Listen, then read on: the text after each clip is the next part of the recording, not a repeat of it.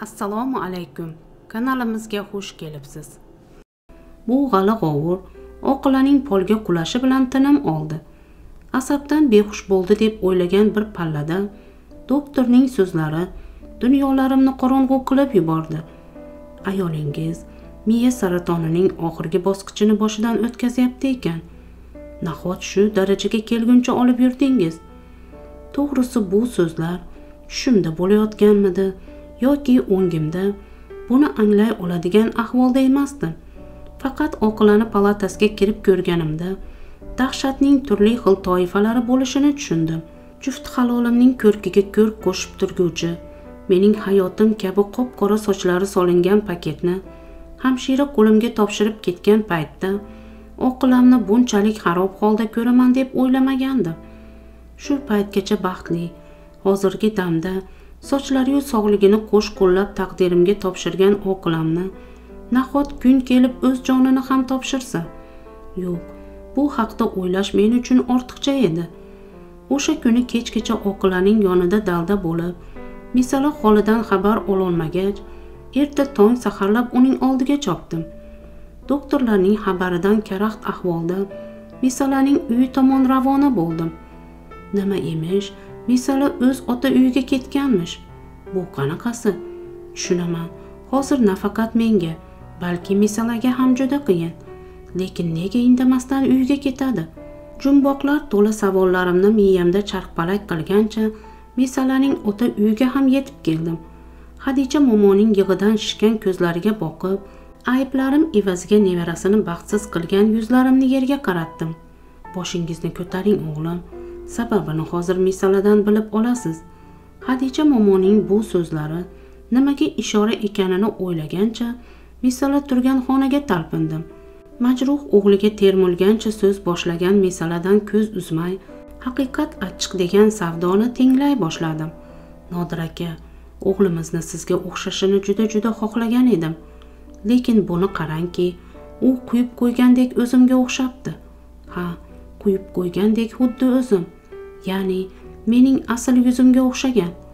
Nimalar deyapsan misali so'zlarimni bo'lmay oxirigacha eshitishga harakat qiling. Buni aytish menga oson kechmayapti. Yana shayton yo'ldan urib yolg'on gapirib qo'ymay sizni ilk bor ko'rganimdayoq sevib qoldim. Orzuyim faqat sizning suyukli ayolingiz bo'lish edi. Bunga o'z kirdikorlarim bilan erishdim ham.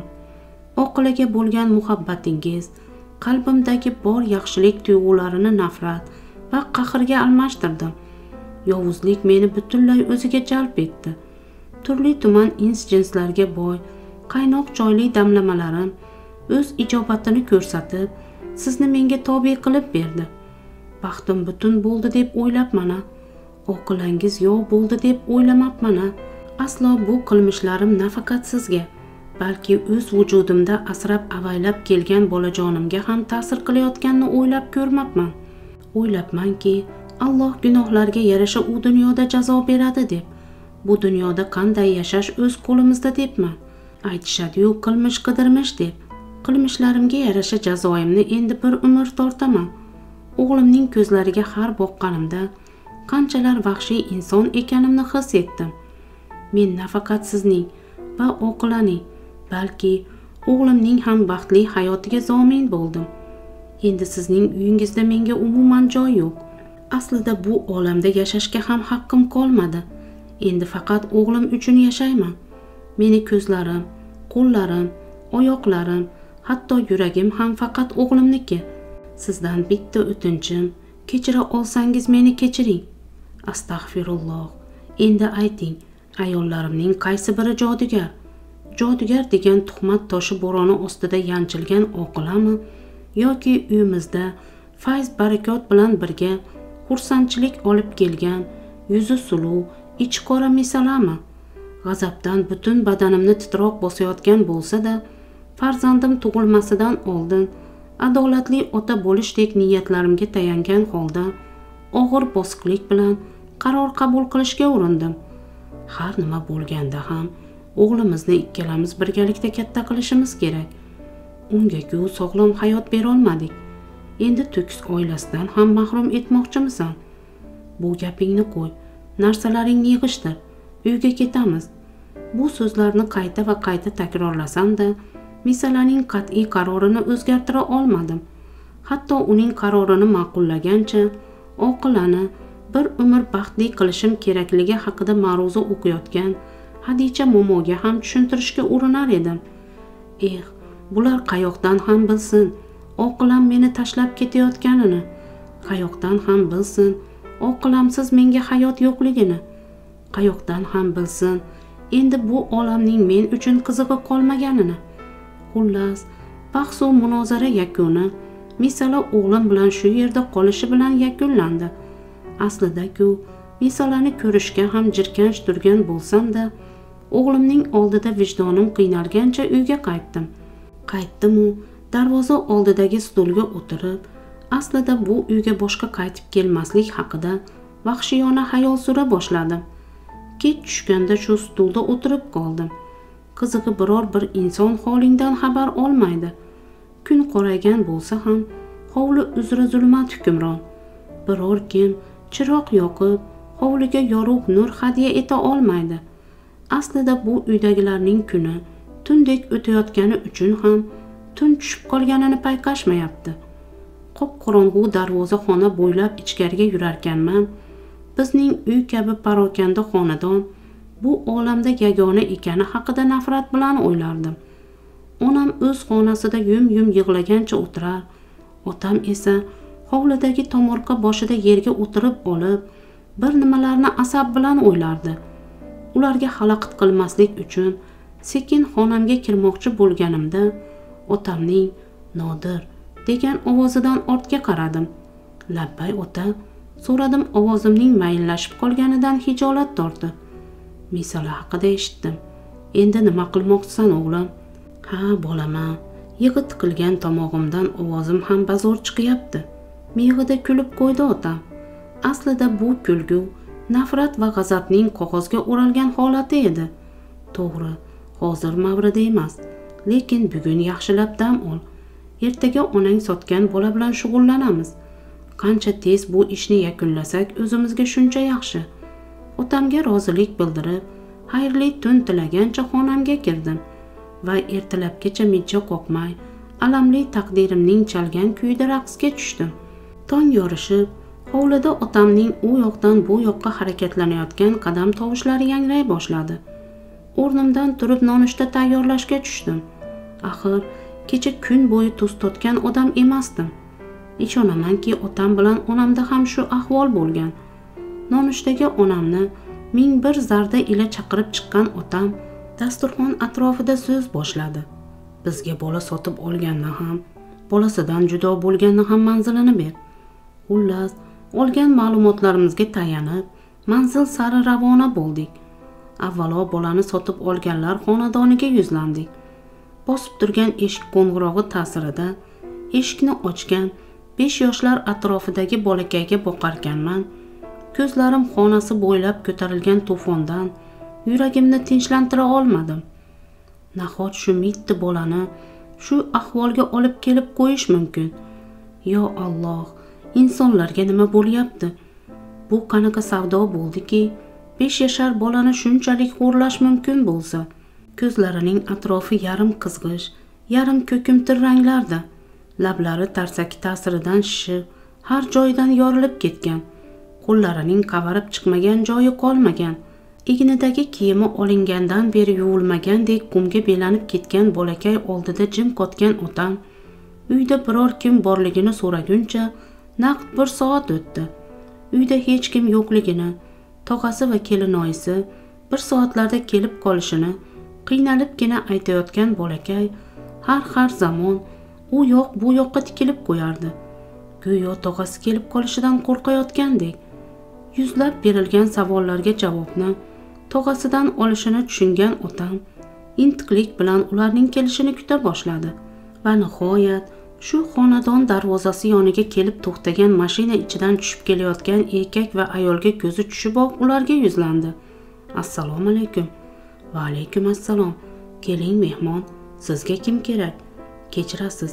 Bizga samira husanova kerak edi. Nima eshitmadingiz shekilli? Ikki oy oldin chet el safaridan ularning jasadlarigina qaytib keldi. Ular deganingiz kim? Samira opam va pochcham komil. Samira sizning opangiz bo'ladimi? Ha tinchlikmi? Opamni qanday taniysiz? Yaxshisi uyga kiring. Bafurja gaplashib olamiz uyga kirib bahaybat hashamatli binolarga boqib onam aytgan kabi og'zi ko'pirgan ayolni tasavvur qilardim. Katta biznesmen bo'lgan samira deganlari eri komil bilan chet elda halok bo'libdi. Ularning yakkayu yagona o'g'illari sobirjon uning ukasi ya'ni hozir biz ko'rib turgan erkak qo'lida qolibdi aftidan bu inson sobirjonni xushlamasligi shundoqqina ko'rinib tursa-da, soxta kuyinib, hatto ko'z yoshini ham oqizib qo'yardi.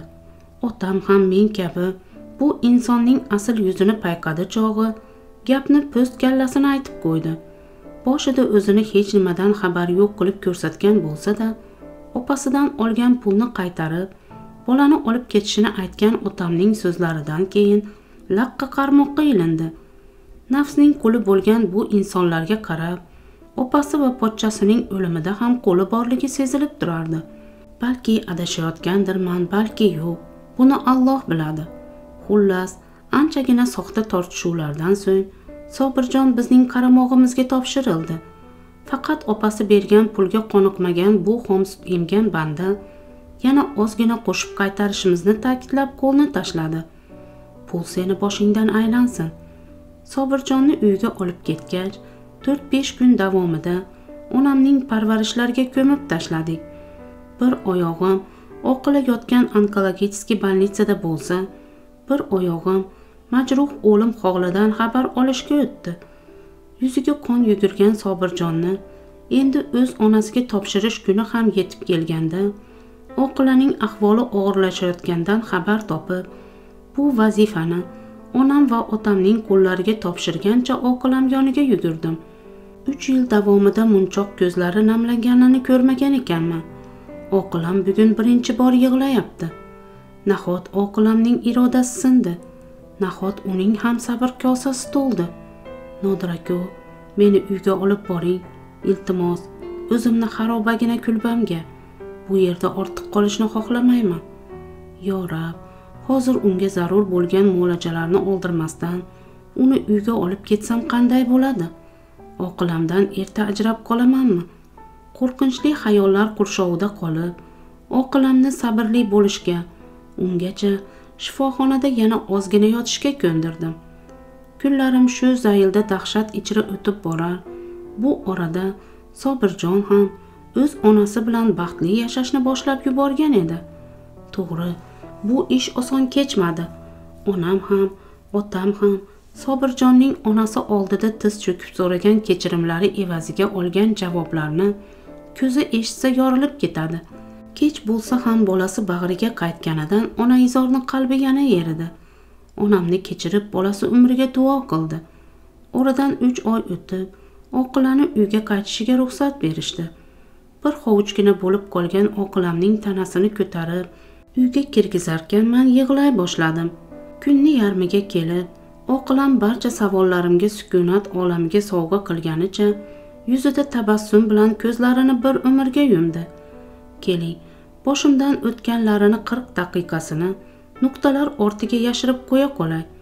Barcha rasm rusumlarga ko'ra oqilamning mittigina jasadi qo'yilgan tobutni ko'targancha yurib borayotgan erkaklar ortidan eshitilgan ovoz barcha rasm rusumlarga ko'ra oqilamning mittigina jasadi qo'yilgan tobutni ko'targancha yurib borayotgan erkaklar ortidan to'xtang to'xtating kelinimni olib chopishni to'xtang oqilagina kelinimning ruxsorini bir ko'ray yolvoraman to'xtating jodugarimning ruxsorini bir ko'ray onam shu zaylda olomon ortidan depinmay tobut sari yugurardi. Yuvilgan mayit ochilmasligini hamma bilgani tufayli onamni bu yo'ldan to'xtatishga uringanlar anchagina toliqib qolishdi. Oqilamni tobuti ortidan ma'yus bo'lib qolgancha shunday dedim. Onamga ruxsoringni ko'rishni armon qilib tashlab ketding-a qara onamning ko'z nurlarini Alloh qaytarib berdi. Joying jannatda bo'lsin ilohim o'zimning jodigarim. Hikoyamiz nihoyasiga yetdi. E'tiboringiz uchun rahmat.